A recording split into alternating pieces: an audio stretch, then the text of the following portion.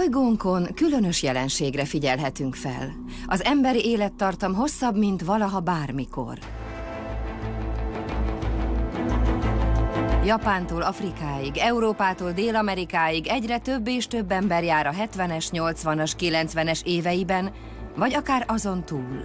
Számos tudós vallja, hogy az emberi faj egy eddig soha nem látott, gyökeres változáson megy keresztül. A világ népessége gyorsabban változik, mint a történelem során eddig bármikor. Az ENSZ felmérései alapján az idős korosztály számaránya az utóbbi 60 évben háromszorosára nőtt. Hasonló növekedésre lehet számítani az elkövetkezendő 40 évben is. Furcsa belegondolni, hogy pár évtizeden belül a fejlett országokban minden harmadik személy életkora meghaladja majd a 60 évet. Írországban ugyanez a hihetetlen változás megy végbe. A 2011-es év lány újszülöttjeinek a fele száz éven túl fog élni. Jó néhány tudós véli úgy, hogy ez csak a kezdet. A nem túl távoli jövőben az emberi faj képes lesz az öregedést teljes mértékben visszatartani. Többé nem lenne korlátok közé szabva az emberi élet. Az emberi technológia kezébe veszi az evolúció gyeplőjét. Rendkívül izgalmas, hogy egy génmódosított egér, amely az elvárhatónál 50%-kal él tovább, egyáltalán nem néz ki úgy, mint egy idős egér, sokkal inkább hasonlít egy fiatalra. Az ír tudósok, orvosok és szociológusok próbálják megérteni az öregedést befolyásoló folyamatokat, valamint ezek kihatásait a jövőre nézve. Az emberiség történetében példátlan, hogy az emberek ilyen széles körben részesüljenek az időskor kiváltságában. Nézőpont kérdése, hogy ez áldás vagy átok. Az emberiség mára elérte, hogy immáron óriási mértékben tudja befolyásolni saját sorsát. Az idős emberek számottevő gyarapodása hatalmas hatással lesz a társadalom működésére, ami számos létfontosságú kérdés feltételét teszi szükségessé. Valóban szeretnénk hosszabb ideig élni? Tartható a nyugdíj és társadalombiztosítási rendszer? Mit jelent majd a nyugdíjaskor önnek, és mit jelent majd nekem? Gyökeres változásokra lesz szükség, azonban ha sikerül mindezeket végrehajtani, a kései éveink lehetnek a legszebbek.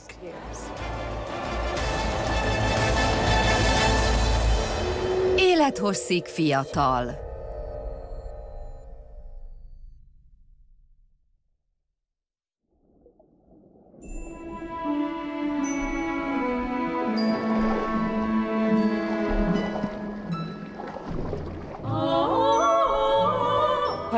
Azért úszom, mert imádok úszni.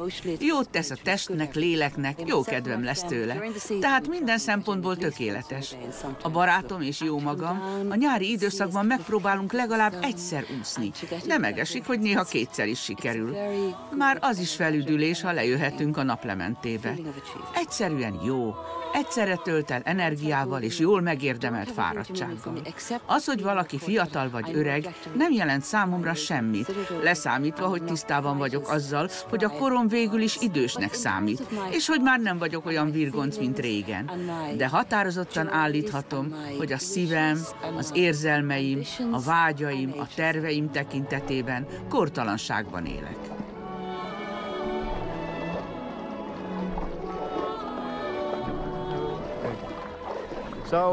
Kint vagyunk a Dublini zöldben, ahol a sisakok csillognak a napfényben. Bármerre nézünk, mindenhol látni a jeleit annak, hogy az emberek hosszabb ideig élnek, sokkal termékenyebb életet annál, amiről felmenőink csak álmodhattak. A korom 83 év. 78 év. 84 év. 72 év. 92 év. Mi is történik valójában? 1840-ben a szegényebb rétegekben átlagosan 38 évig éltek. Ezen túlmenően minden egyes év rendkívüli teljesítménynek számított. Abban az időben azon keveseket, akik az átlagon felüli életkort értek meg, valóban nagyra tartották tapasztalatuk és bölcsességük miatt. 1830-tól kezdve azonban Európában és Amerikában különös jelenségek vették kezdetüket. Az 1850-es években a csecsemő és gyermekhalandóság nagyon magas volt. A gyermekeknek több mint a fele tíz éves kora előtt meghalt, ezért ennek kiegyenlítésére a szülők nagy családok alapítására törekedtek. A magas gyermekhalandóságot akkoriban az élet részének tekintették. A változást azt hozta meg, hogy az alsóbb rétegek életkörülményei javuló tendenciát mutattak.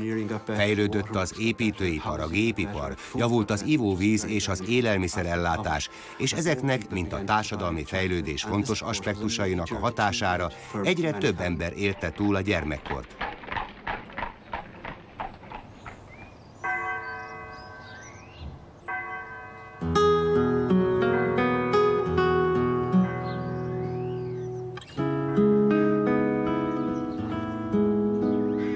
Ez a demográfiai eltolódás a temetők látogatásakor a legszembetűnőbb. A fejfákon végignézve láthatjuk, hogy a 19. század elején milyen korai volt a halálozás. 6 éves életkor, 16 éves életkor, amott meg 20 évesen elhunyt nyugszik. Mindez teljesen megszokott volt abban az időben. Nézzük végig, hogy mi történt a 19. század közepe óta. A várható átlag életkor egyenletes növekedésnek indult, amelynek üteme érdekes módon ma is tart.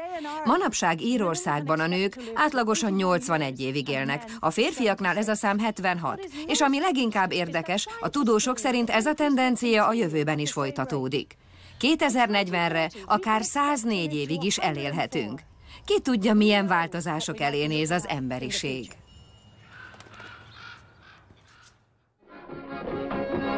Na de ön mire számíthat? Ha a 40-es években született, minden további nélkül számíthat arra, hogy 70 évig él. Ha a 60-as években jött a világra, 75 év teljesen reális, minden egybevág. Folytatva, ha a 80-as évek szülötte, ön minimum 80 évre számíthat. Ha pedig a közelmúltban született, akkor 90, 100 év, vagy akár ennél hosszabb élet várhat magára. Bizton állíthatjuk, hogy hihetetlen dolog részesei vagyunk. Hosszabb ideig élünk, mint bármikor a történelem során.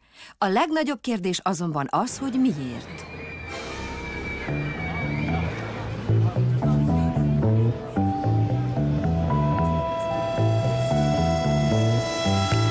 A legtöbb nyugati országban köszönhetően a választékos étrendnek, az oktatásnak, a jólétnek, valamint az egyre szélesebb körű gyógyászati ellátásnak az emberek egyre tovább élnek. A jelenlegi gazdasági viszonyok között nehéz bizakodónak lenni, de mindent összevetve tartalmasabb életet élünk, mint nagyszüleink vagy dédnagyszüleink. A modern világ könnyebb, kevésbé megterhelő és sokkal ígéretesebb. Jobb minőségűek az élelmiszerek, jobbak a higiénés körülmények, több idő áll rendelkezésre a pihenésre. Mindezek nem kizárólag a nyugatra jellemzőek. A fejlődő országok körében is hasonló tendenciát figyelhetünk meg. Sőt, a változás üteme esetükben még gyorsabb. Mivel az említett változások egyetlen emberöltön belül mennek végbe. Ezek az élettartambeli változások komoly kihívás elé állítják a világ országai közötti munkamegosztást.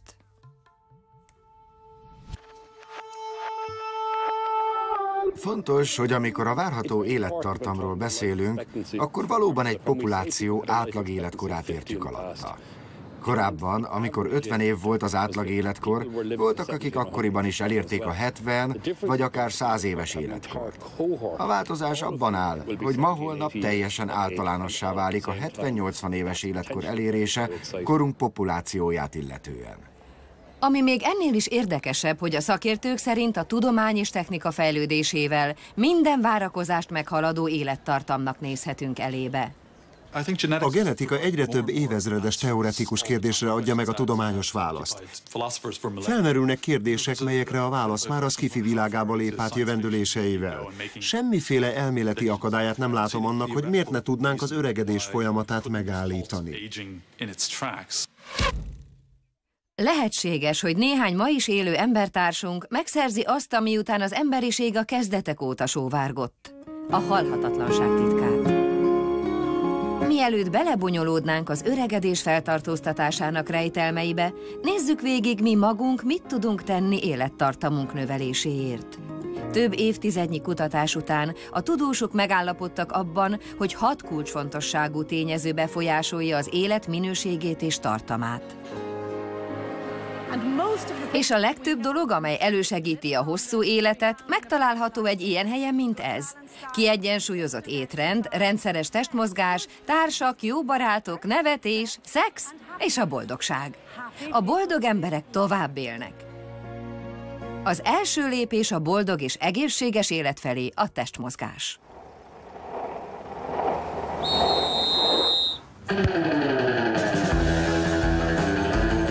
Gillik 84 éves. Egyáltalán nem érzem magam idősnek. Remek érzés, amikor valaki megkérdezi a koromat, amire 85 év a válasz, és a kérdező hitetlenkedve rázza a fejét. Senki sem hiszi el. Egyszerűen nem adnak igazat. Kielvezem a helyzet minden pillanatát, és múlhatatlannak érzem, pláne, hogy a hölgyek körében is népszerű vagyok. Az, hogy Mik az érzést múlhatatlannak érzi, az általa végzett testmozgásnak köszönhető. A fitség és mozgékonyság megőrzése klinikailag bizonyított tény, hogy nem csak a testnek és az izmoknak hasznos, hanem nagy hatással van a mentálhigiénére is. A testmozgás az egyike a legfontosabb élethosszító tényezőnek. Nem kell órákat az edzőteremben tölteni. Heti egy 10 percnyi lendületes séta már megmutatja jótékony hatásait. Szeretem ezt a gépet. Jót tesz a térdeknek. Kijövünk ide kirázni a tagjainkat. Én mondom önnek, ez tart életben bennünket. Növeli az önbecsülést, elégedettségérzést nyújt, nem beszélve a boldogságérzetről. Ezek mind-mind nagyon pozitív dolgok.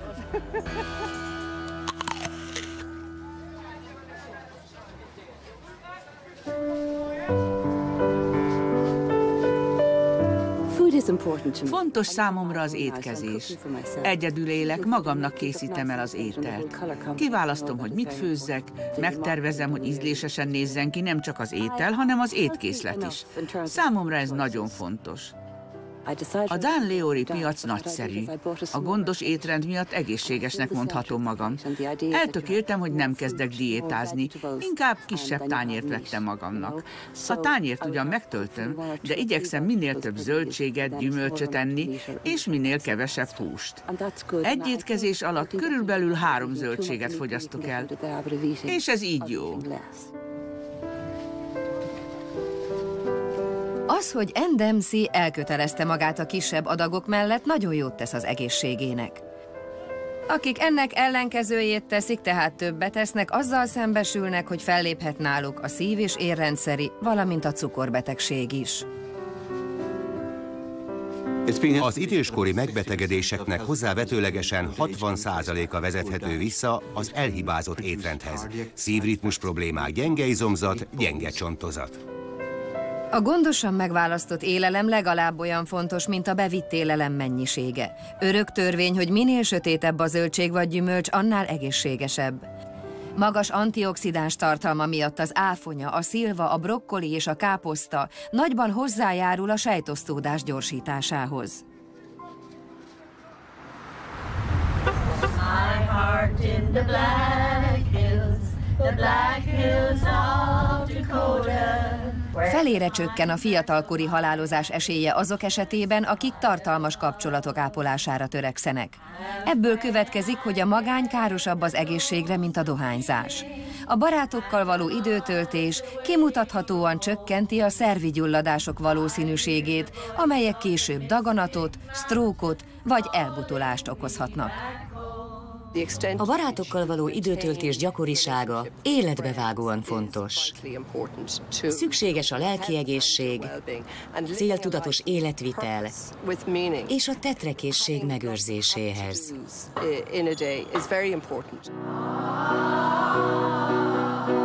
A Miss megyei Summerhillben található Surdage Foundation alapítvány egyik újítása, hogy összefogja az idősek közösségét.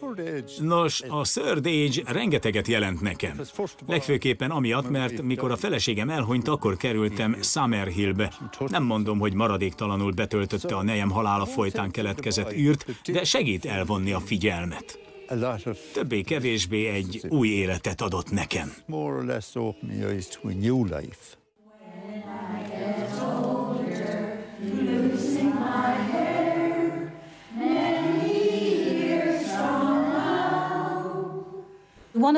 Az idős emberek egyik legnagyobb problémája az a rettenetes magány, amely akkor tör rájuk, ha elveszítik társukat.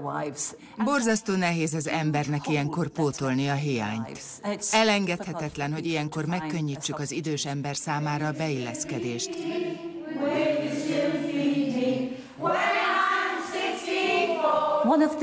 És erősítsük a tudatot benne, hogy ő a csoport lelke. Hogy érezze, hogy vannak helyek, ahova közösen akarnak ellátogatni. Hogy vannak emberek, akiket közösen akarnak megismerni. Hogy vannak közös célok. Egy ember számára ez mind-mind nagyon fontos.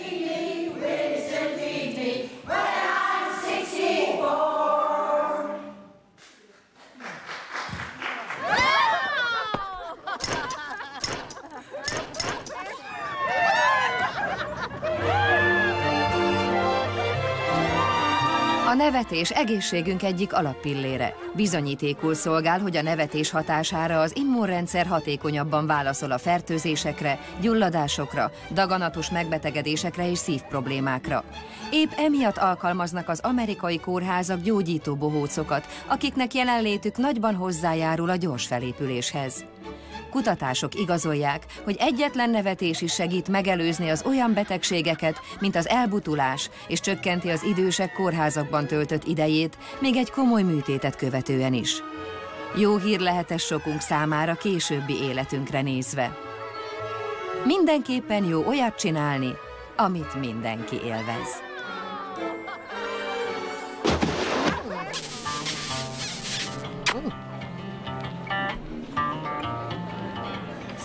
Ön téved, ha azt hiszi, hogy a szex a fiatalok kiváltsága. Egy mostani tanulmány kimutatta, hogy az idősebb párok harmada él szexuális életet legalább heti egyszer, harmaduk pedig orálisan elégíti ki egymást. Önmagában is jó hír ez, ugyanakkor szintén lassítja az öregedést, és ha ez az ára, hogy több időt töltsünk ezen a bolygón, ám legyen. Surely it's worth the extra effort.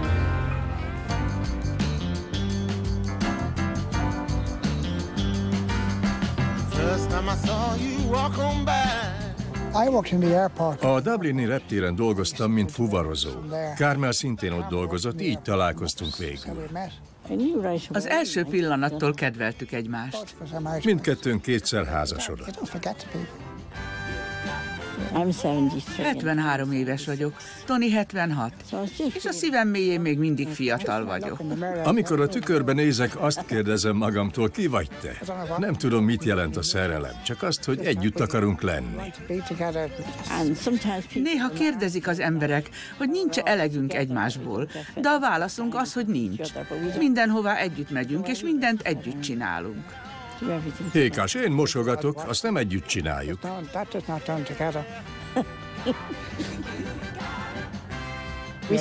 Van szexuális életünk is. Bizonyos időközönként. Nem olyan gyakran, mint fiatal korunkban, de azért még mindig megesik. Közelebb hoz egymáshoz bennünket. Jó együtt nevetni. Tudják, ettől csak szorosabb lesz a viszonyunk. Bizonyítékaink vannak arra vonatkozóan, hogy akik gondot fordítanak a szexuális életükre, a későbbiekben jó eséllyel maradnak testileg, szellemileg egészségesek. A bizonyíték tudják magától értetődő. Ha a fiatalosnak érzi magát, az bizony kihatással van a testére is. It actually has real effects on your body.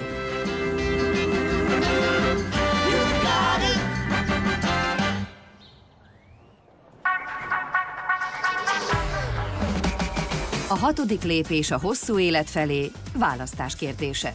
Egyfajta önrendelkezési jog arra, hogy az ember kedve szerint élje életét. Túl gyakran történik meg, hogy a hatvanat betöltve emberek arra kényszerülnek, hogy egy lépést hátráljanak, vagy beszűkítsék a látóterüket, hogy kiírják magukat a társasági életből. Miért kellene bárkinek is felhagyni a munkával, szexuális élettel vagy autóvezetéssel? A tudós kollégákkal már tisztán látjuk, hogy pusztán a választás lehetőségének a tudata elengedhetetlen a sikeres és egészséges időskorhoz. Ez az, ami ösztökél bennünket.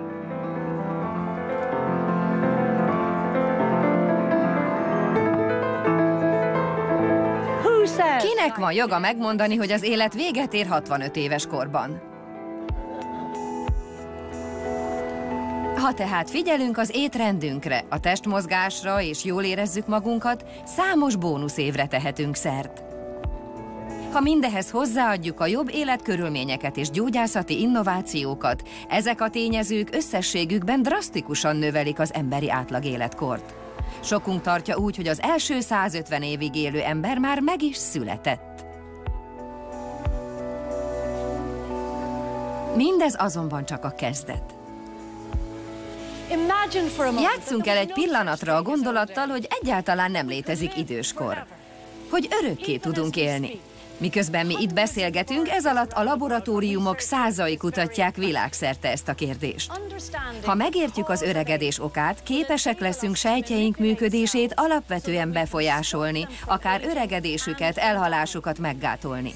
A tudósok csak egy karnyújtásnyira vannak az örök élet bűvös elixérjének megtalálásától.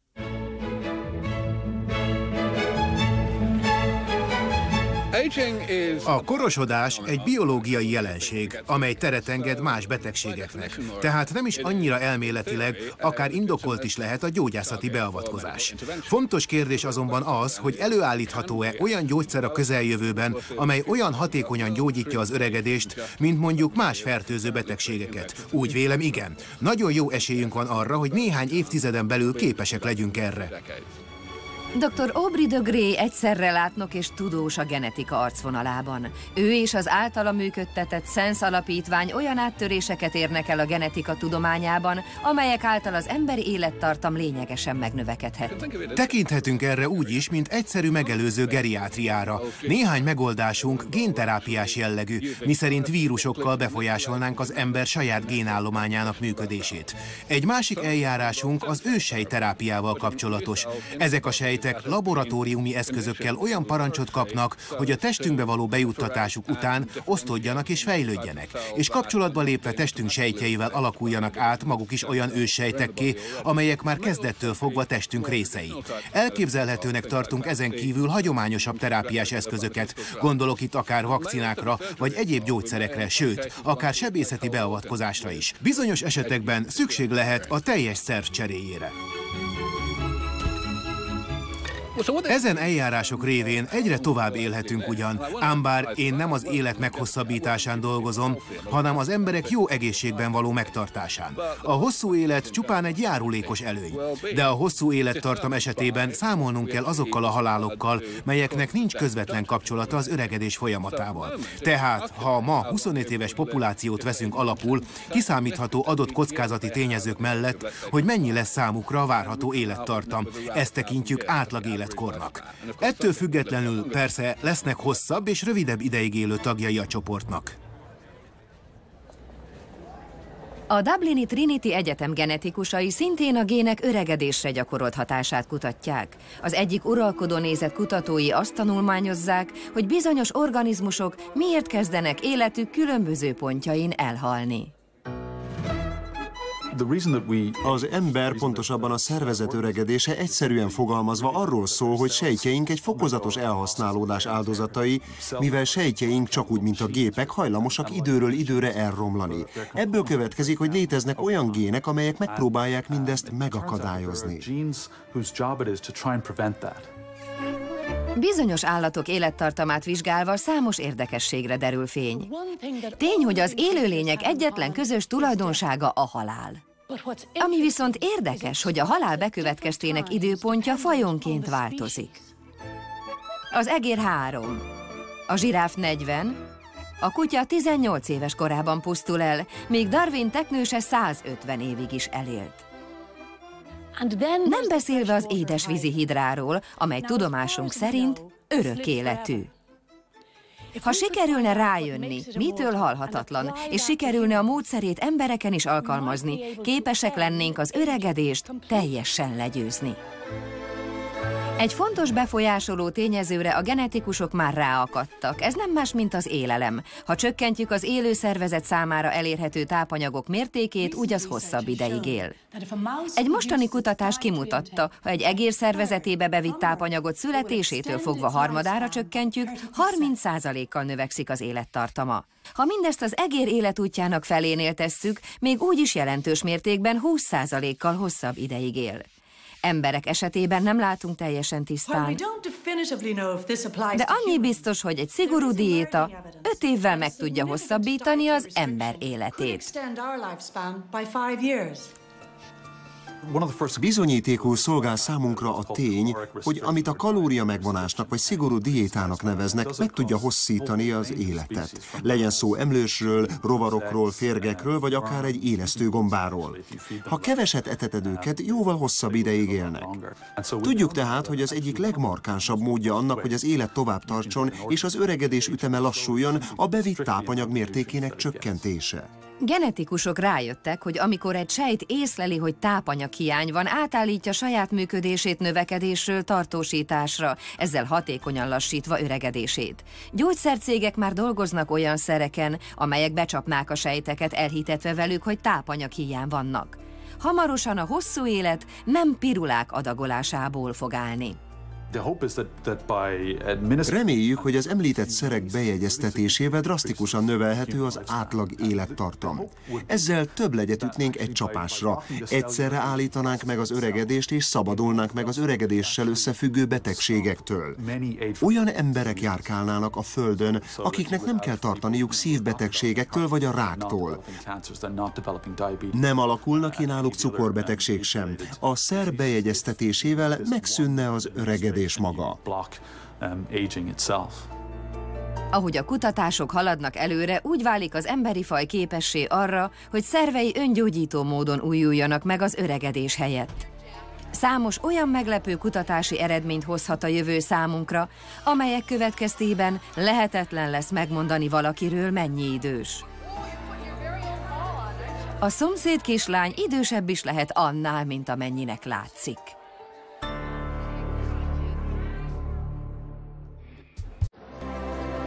Élethosszig fiatal. Az emberi faj radikális átalakuláson megy keresztül. Az emberi élet egyre hosszabb és tartalmasabb. A genetikának köszönhetően földi létünk időtartama minden képzeletet felülmúlhat. Mindez jelentős hatással lesz a munkavilágára, a nyugdíjrendszerre és az egészségügyi ellátásra. Vajon mi történne, ha az öregedést kijátszva, kedvünkre formálva élhetnénk tetszőleges hosszúságú életet? Gondoljunk csak a demográfiai változásokra. A népesség túlnyomó része 60 éven felüliekből tevődik majd össze. Ehhez gyökeres társadalmi változásokra van szükség. A kérdés az, hogy készen állunk-e erre. Michael a maga 70 évével átlagos nyugdíjasnak számít. A 20. század elején Michael állami nyugdíját, egészségügyi ellátását, valamint további szociális juttatásait 22 aktív dolgozó befizetett adójából fedezték volna. Mindez már a múlté. Az időkerekét jelenünk felé forgatva azzal szembesülünk, hogy ez az arány drasztikusan megváltozott. Mára mindössze hat aktív dolgozó adójából elégítik ki Michael szükségleteit. Az elkövetkezendő évtizedekben ez az arány tovább csökken majd. Természetesen ez így tarthatatlan. Eljött az idő, hogy új nézőpontból vizsgáljuk a nyugdíj és a munka kérdését.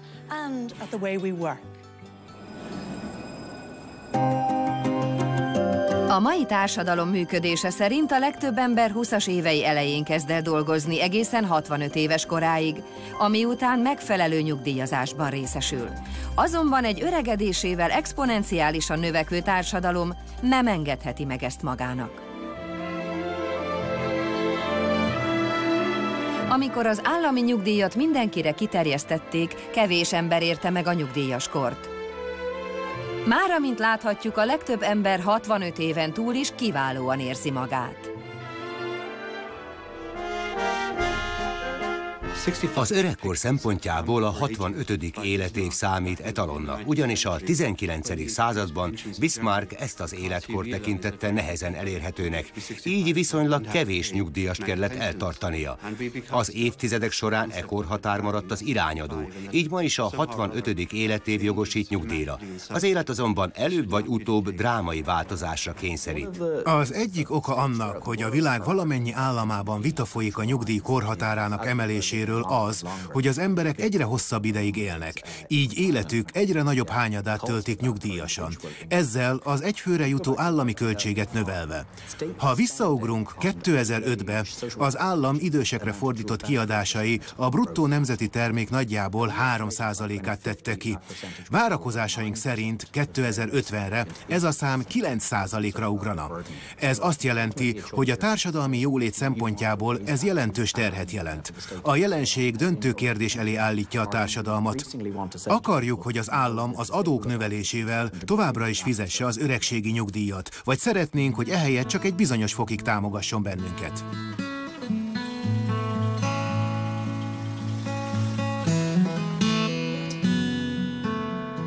Gondoljunk csak azokra az értékekre, amelyet egy idős munkaerő képviselhet. Gondoljunk arra a rengeteg tapasztalatra, tudásra, amely az idők során felhalmozódott. Lehet, hogy a kor reakcióidőnk gyorsaságunk rovására megy, de a bölcs vénbagó jelző egyáltalán nem véletlen. A nevem Patrick Cassidy, és ez év március 7-én töltöttem be a 78-at. Egyáltalán nem érzem magam öregnek. Még mindig úgy érzem, hogy képes vagyok mindarra, amire 25 évvel ezelőtt. Ez tart mozgásban. Az igazat megvalva nem vonultam nyugdíjba, és nem is tervezek hasonlót. 2003 óta részmunkaidőben dolgozom ennél a cégnél. A vállalat mindenben megfelel számomra. Mindössze négy órát dolgozom. Délelőtt 10-től délután 2-ig. Ez így nekem tökéletes. Patrick munkahelye úttörő a tekintetben, hogy alkalmazottai egynegyede 50 év feletti. Angliában a legidősebb dolgozójuk 95 éves. Idősebb alkalmazottaink. jellemzően roppant megbízhatóak, kitartóak, rengeteg tapasztalattal rendelkeznek. Például az igazgatásban szerzett szaktudás az évek során egyáltalán nem kopik meg. Ugyanakkor az idős dolgozók jó hatással vannak a fiatalabbakra. Egyfajta egyensúlyt hoznak a munkába. Élvezetet nyújt számomra a munka. Testileg is, lelkileg is segít megőrizni számomra azt, aki valójában vagyok. Ha valaki ideálna elém és közölné, hogy holnaptól már nem dolgozom itt, minden bizonyal nem hagynám magam, mivel minden tekintetben munkaképesnek érzem magam. I've heard there was the secret chord a jelenségen, hogy ez az úr 78 éves kora ellenére is boldogan és eredményesen dolgozik, egyáltalán nem kellene meglepődnünk. With the ring of a bell in the back of my mind mint ahogy az sem meglepő, hogy a médiában vagy a művészet világában számos nyugdíjas korú személy tevékenykedik. Miért ne lehetne ugyanez a helyzet a tudomány, az államigazgatás, a jog vagy épp az üzleti világ területén, ahol a bölcs idős emberek hihetetlenül nagy segítséget jelentenének? Jó néhány ország elindult a változás útján. Japán szintén hasonló problémával küzd, mint Írország. Itt a 90 éven felüliek 5%-a aktívan dolgozik. Hollandiában az idős nők 65, az idős férfiak 60%-a vállal gyermekmegőrzést. Vállalásaikkal rengeteget tesznek a gazdaság és a társadalom egésze érdekében. A 90 százon fölüli lét átlagossá válása miatt Sürgős és gyökeres változtatásokra van szükség életmódunkban. A munkavilágának egyik bevett modellje az előléptetésekre épül, amelyek következtében az egyén egyre felelősségteljesebb beosztásba kerül, hogy a végén a csúcson lépjen ki a rendszerből. Furcsa érzés lehet leköszönni, de az emberek valójában erre vágynak. Úgy vélem, ez pedig kitűnő alkalom arra, hogy újra gondoljuk a munkához való hozzáállásunkat. Nem szükséges túlhajszolni magunkat az aktív évek alatt. Újra is értelmezhetjük azokat. Szüneteltethetjük a munkát, hogy gyermeket neveljünk.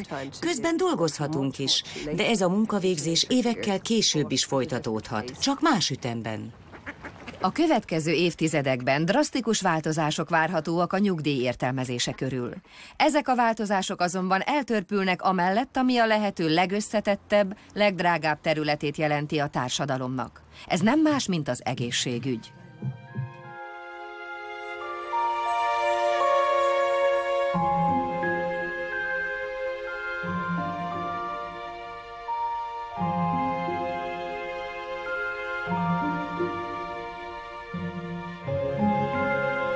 A jelenség, hogy 2050-re előreláthatólag a népesség harmada 60 éven felüli lesz, az egészségügy átfogó felülvizsgálatát teszi szükségessé. A Dublini St. James kórház vezető gerontológusa Davis Coakley nagyon is érti a problémát. Az időskor egyik legnagyobb kihívása az egészség. Egy idős embernek meg annyi jelentős problémával kell szembenéznie, úgy mint légzési panaszok, szívritmuszavarok, izületi gyulladások, idegrendszeri panaszok, például Parkinson-kor, a sokszor kimutathatatlan nyirokrendszeri megbetegedések. Az időt megbetegedések az idő előre haladtával egyre inkább hátráltatják az embert, így az államnak egyre több és több pénzt kell fordítania a szociális jólét fenntartására. A helyzet az évek során csak csak romolhat, úgyhogy tennünk kell valamit, hogy sokkal jobban reagálhassunk az öregedésre. Szerte a világon a közegészségügyi kiadások több mint 80%-a az idült megbetegedések kezelésére fordítódik, amit az ember csak akkor érzékel, amikor kórházba kerül. Jelen állás szerint egyszerűen nem lesz elég kórház, orvos, szakápoló, hogy ezeket a váratlan helyzeteket megoldja.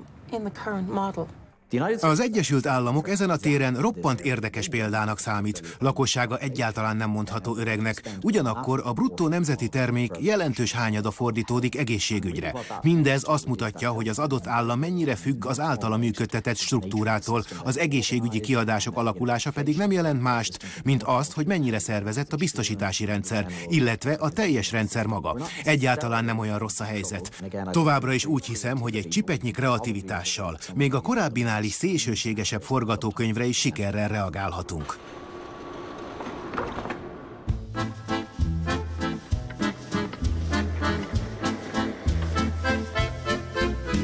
A 114 éves Anne Eugene Blancard a ma élő legidősebb ember a Földön. Az elmúlt 30 évben élete majdnem negyedét idősek otthonában töltötte. Biztos vagyok abban, hogy ott jól érzi magát de szívesen élne akár máshol is.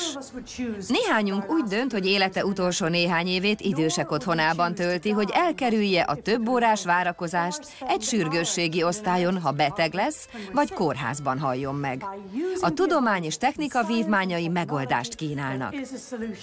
Képesek vagyunk olyan egészségügyi ellátást nyújtani, amely mindenki számára elérhető. Hey, Brendan. Rory, I'm Trisha. Welcome to Tilda. Come this way with me. A koncepció kulcsa, hogy az egyént távol tartsuk a kórházaktól, és ameddig lehet a megelőzésre, illetve a korai beavatkozásra helyezzük a hangsúlyt. Így olcsóbb és kényelmesebb. Írországban a gyógyászati, tudományos és technológiai szektorok azon dolgoznak, hogy egy globálisan megújult, kiváló egészségügyi technológiával lépjenek elő az előregedés problémáját illetően. Emberek ezreit vizsgáljuk meg, hogy megértsük az öregedés folyamatát, és felfedezzük a krónikus betegségek kialakulását jóval a tünetek megjelenése előtt. A mai orvostudomány a reakción alapul.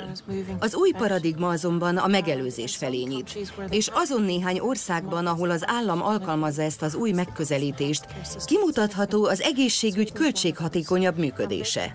Svédország élenjáró e tekintetben, így könnyű összehasonlítani a preventív modellt a reaktívval. A svéd preventív modell esetében jóval több az egészséges ember.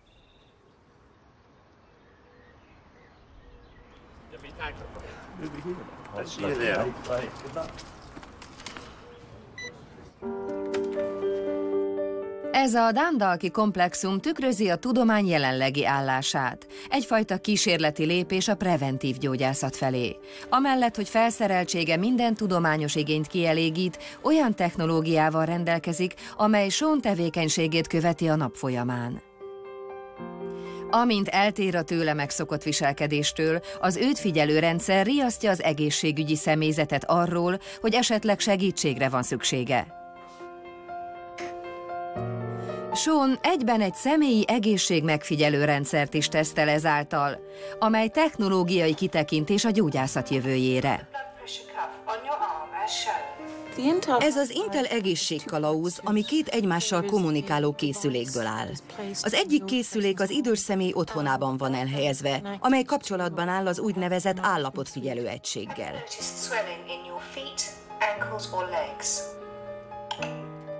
Ez lehetővé teszi az ápolócsapat számára, hogy az egészségügyi ellátás személyre szabottan működjék. Az ön által küldött adatok alapján duzzanatot fedeztem fel a lábán. Igen, a jobb lábam legfőképp, a bokámnál duzzadt inkább. Szeretné, ha beugrana önhöz egy nővér, hogy megnézze? Igen, azt nem bánnám, jó lenne. Az, hogy ez széles körben elterjedjen, nagyban függ attól, hogy miként sikerül egyesíteni a gyógyászat rendkívül szerteágazó spektrumát, az orvoslástól kezdve az ápoláson keresztül, a fizioterápiáig, nem beszélve az olyan kisegítő jellegű intézményekről, mint az alapfokú diagnosztikai központok. Hello, Sean. Jó napot, Sean, Iona vagyok. A közegészségügyi szakápoló. Az egészsége felől szeretnék érdeklődni. A technológia fejlődésével és az öregedés alaposabb megértésével az a cél lebeg a szemünk előtt, hogy egy személyre szabottabb egészségügyi ellátást hozzunk létre, amely az otthonápolásra összpontosít.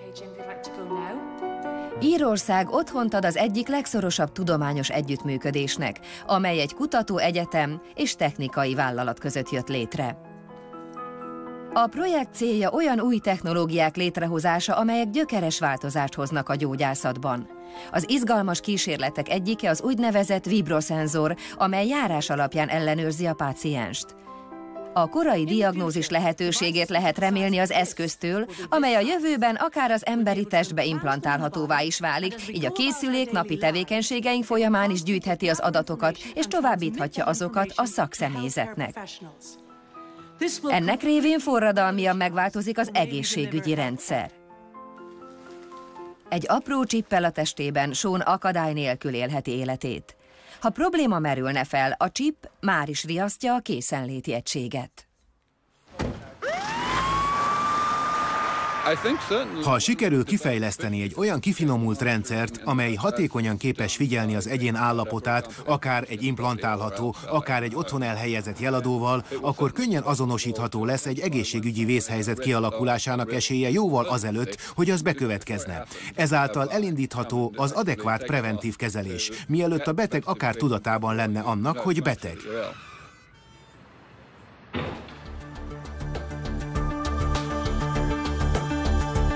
Csípőműtétre, szívműtétre vagy akár genetikai kezelésre lenne szüksége, eljuthat egy közeli klinikára egy robot által végrehajtott műtétre. Ez a technológia, amely már ma is elérhető a Galway klinikán, lehetővé teszi a sebészek számára, hogy a világ bármely pontjáról elvégezhessék a műtétet a robot segítségével.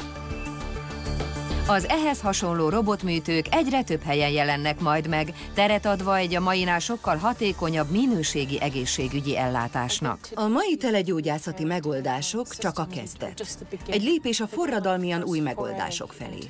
Ezen új megoldások sokkal kifinomultabbak lesznek. Az egészségügyi szolgáltatásokat bárhova magunkkal vihetjük. Mobiltelefonjainkon, számítógépeinken. Vagy ezek a szolgáltatások velünk lesznek akár a testünkön, akár a testünkben. Hozzá kell szoknunk az információ áramláshoz a testünk és egy szakmai egység között. A megnyíló lehetőségek száma végtelen nem csak az egészségügyi eljárások és a prevenció terén, hanem az általános jó egészség megtartásában egyaránt. Sokak gondolhatják úgy azok közül, akik az ír egészségügyet veszik gorcső alá, hogy ezek a mélyen szántó változások meghaladják a rendszer befogadó képességét. Mégis az egyre hosszabb emberélet nem hagy más utat számunkra, mint hogy új technológiák után nézzünk, hogy fejlesszük a génterápiát, amely szintén sok lehetőséget hordoz magában. A számok önmagukért beszélnek. Jelen állás szerint az az összeg, amelyet az állam átlagosan az egyénre költ gyógyászati ellátás címén a halála előtti utolsó egy évben valójában több, mint amennyit az addigi élete során összesen ráfordított, függetlenül attól, hogy az illető mennyi idősen távozik el. Mostantól azonban ez az összeg mind a kasszában marad, mivel az emberek egyszerűen nem kerülhetnek olyan helyzetbe, hogy Alzheimer-kort, tumort vagy szív-érrendszeri megbetegedést diagnosztizáljanak rajta. Valóban ezek az új eljárások pénzbefektetést igényelnek, azonban töredékét a korábbi arányoknak. Az az állam, amely nem teszi elérhetővé az új egészségügyi rendszert minden polgára számára, gazdasági öngyilkosságot követel. A modern társadalmak hajlamosak az idősebb embereket törékenynek, kiszolgáltatottnak hinni. Valójában ennek az ellenkezője igaz. Az idős emberek csupán 15%-a igényel rendszeres orvosi ellátást. A fennmaradó 85% egészséges, teljes értékű életet él. A nyugdíj és az egészségügy kérdése bonyolult, de tekintsünk rájuk másképp. Legyen a mai nap terhe a holnap megváltása. Ami a legérdekesebb, hogy az idős emberek többsége gazdaságilag független.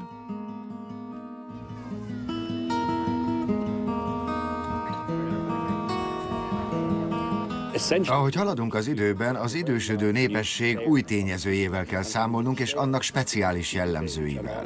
Eddig inkább az ifjúság igényeit szem előtt tartó világban éltünk. Ám az ifjúság igényeivel párhuzamosan megjelennek a fiatal felnőttek igényei. A nem túl távoli jövőben pedig megjelenik egy nagy igényeket támasztó, tehetős, széleskörűen képviselt és nagy figyelmet igénylő idős korcsoport is. Az idős réteg egyik alulértékelt sajátossága a vásárlás vásárlóerő. Az Európai Unió vagyonos embereinek 75%-a az idős korosztály soraiból kerül ki. Ez a szám Angliában és az Egyesült Államokban 80%. Ami igazán érdekes, hogy az alkonygazdaság lendíti fel rövidesen az új áruk keresletét. Alapvetően, ha az ember nem csinál semmit, egyrészt hatalmas költség az egészségügy számára, másrészt a nyugdíj miatt a fiatalabb korosztály megélhetése kerül veszélybe, az egyre növekvő adók által. Ha fordítunk a gondolatmeneten, kiderül, hogy ez egyben lehetőség is. A legtöbb ember ma a 30 éves és az az alatti korosztály számára fejleszt.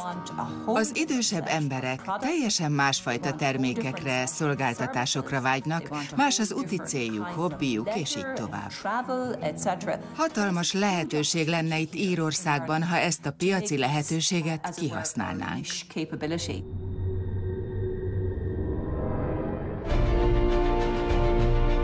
Az egyre hosszabbodó emberi élettartam, mint jelenség a világ valamennyi országában megfigyelhető. Ennek következtében az idős korosztály egyre több szolgáltatás termék célcsoportjává válik, amely igen fontos részét képezi majd a világgazdaságnak az elkövetkezendő néhány évtizedben. Írország a frontvonalban van, és némi segítséggel fontos tényezője lehet ezen folyamatoknak. A gyógyászati szakképzés, génterápia, új technológiák tekintetében Írország meghatározó szereplője lehet a 21. század nagy aranylázának. Bizonyára sok gyógyszercég érdekelt abban, hogy az új rend felálljon. Ha épp ön az a személy, aki rálel a kulcsfontosságú biokémiai reakcióra, kikísérletezi a gyógyszert. Ön lehet az, aki megtalálja az életelixírt, az örök fiatalság kulcsát. Rengeteg pénzt és lehetőséget rejt ez a kutatási téma. Az utóbbi évezred legradikálisabb változását jelenteni az emberiség számára, ha az öregedésnek egyszer mindenkorra véget vetnénk. Nem könnyű munka, de minden cseppverejtéket megér. Persze rengeteg a kihívás előttünk, de ezek mind teljesíthetőek. Nincs más választásunk, ugyanis a ma-holnap időskorba lépő generáció semmi ahhoz képest, ami utánuk következik.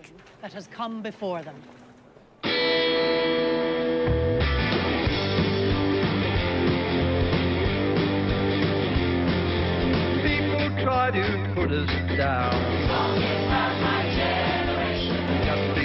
A mai 70-esek ugyanazok, akik a My Generation című számot énekelték 50 éve.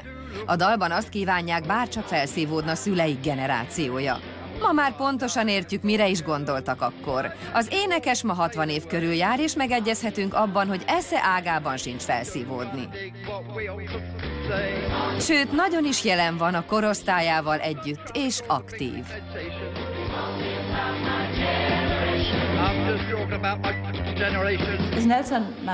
Ahogy Nelson Mandela szerint, az élet nagy problémája nem a hatalom hiánya, hanem az, hogy nem használjuk azt a hatalmat, amink van. Az idős emberek egyszerűen nem veszik észre, hogyha összefognak, mekkora hatalomra tehetnek szert, hogy együtt bármit el tudnak érni. Idős emberek ezrei gyülekeztek az ír parlament előtt 2008. októberében, hogy az egészségügyi kártya visszavonása ellen tiltakozzanak. Láthattuk, mekkora erő rejlik bennük. Jóságos nagymamák és reszkető nagypapák tévképzete egyáltalán nem fedi a valóságot. A nemzedék, amely megteremtette az ifjúsági kultúrát, kivívta a női egyenjogúságot a két világháború után, biztos vállalja a küzdelmet az öregedés ellen is. Nem kétséges, ismét győzedelmeskedni fog. A mai társadalom bizonyára borulátóan tekint az öregedésre. Ez azonban teljes félreértés, mivel az öregedés egy csodálatos vívmánya az emberiségnek. A legtöbb ember már a képes arra, hogy időben egyre kevésbé behatárolt módon élje tartalmas, gyarapodó életét. Minden hozzáállás kérdése. Hatalmas lehetőség rejlik az idős korosztályban, ezért fontos, hogy tevékeny részei maradjanak a társadalomnak. Mindössze egy kis képzelő erőre van szükség ahhoz, hogy mindezt valóra váltsuk.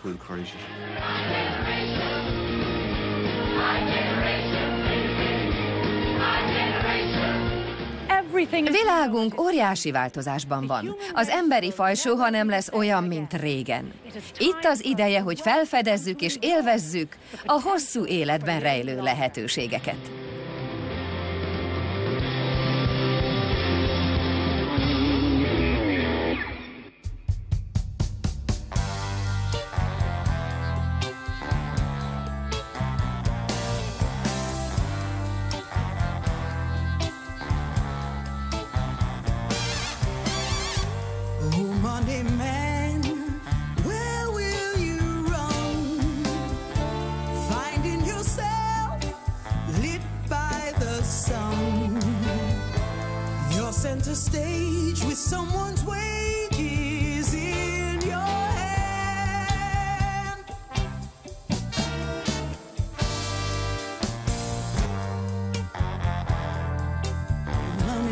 Közreműködött Szórádi Erika.